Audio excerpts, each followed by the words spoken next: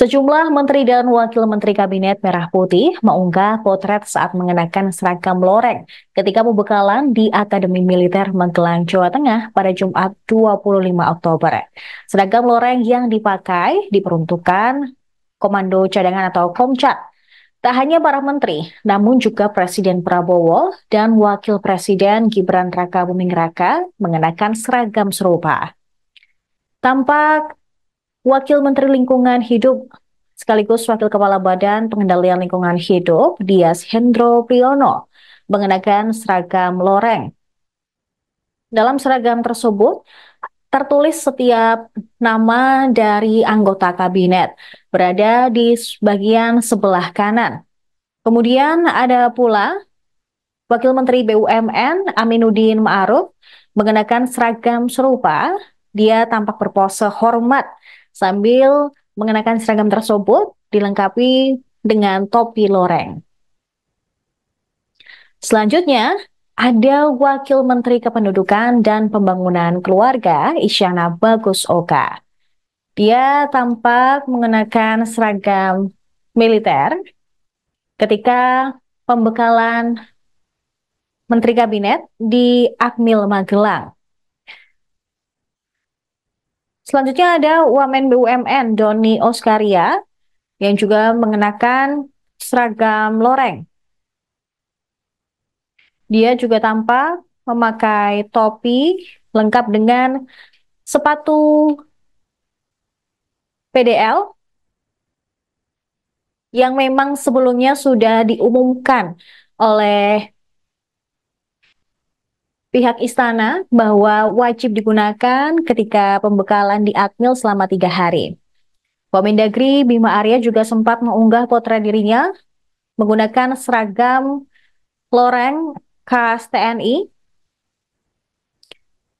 Dia tampak berjalan sejak subuh pagi tadi sebelum melakukan kegiatan olahraga di lapangan Sabta Marga Akmil. Selain itu dia juga sempat mengunggah ketika bersama beberapa menteri dan wakil menteri menaiki mobil. Nah, jika para anggota kabinet baru mengunggah penampakan mereka mengenakan seragam, namun berbeda dengan Menteri Energi dan Sumber Daya Mineral atau SDM, Bahlil Lahadalia. Sebelumnya, sehari sebelumnya Bahlil sudah mengunggah potret dirinya menggunakan seragam loreng, lengkap dengan topi dan juga sepatu khusus di akun Instagramnya. Bahkan potret Bahlil ini beredar luas di media sosial dan menjadi perbincangan karena saat itu belum ada satu menteri ataupun anggota kabinet yang mengunggah potret mereka mengenakan seragam khas TNI tersebut. Terlihat Bahlil mengenakan topi serupa dan di sebelah kanan tertera nama Bahlil, sementara di sebelah kiri tertulis nama Indonesia.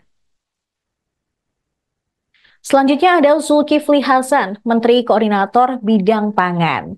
Tampak di layar kaca Anda, Zulkifli Hasan mengunggah potret selfie dirinya mengenakan kacamata hitam dilengkapi yang melengkapi penampilannya mengenakan seragam loreng dan juga topi.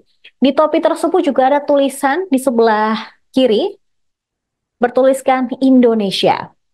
Tampak di belakang Zulhas beberapa anggota kabinet Merah Putih sedang menyimak ketika pemaparan yang dilakukan di lapangan Akmil. Kemudian yang tidak mengejutkan lagi, ada Presiden Prabowo yang lengkap menggunakan seragam loreng. Seperti diketahui pemirsa bahwa Presiden Prabowo sebelumnya merupakan Komandan Kopassus.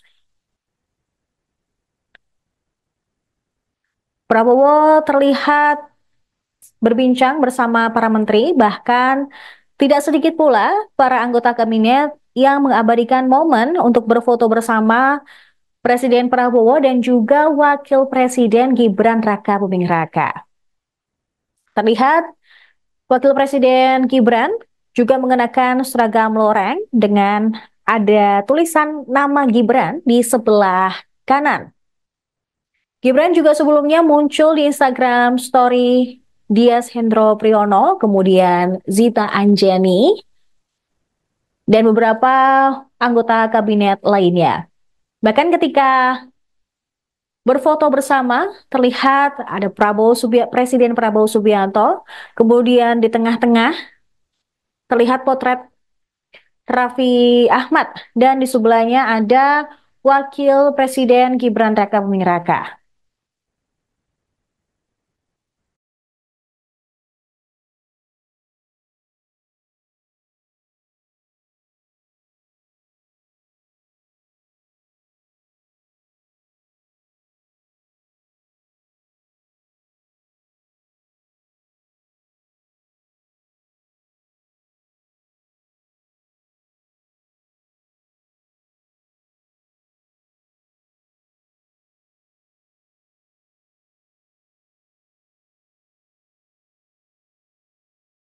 Download Tribun X sekarang.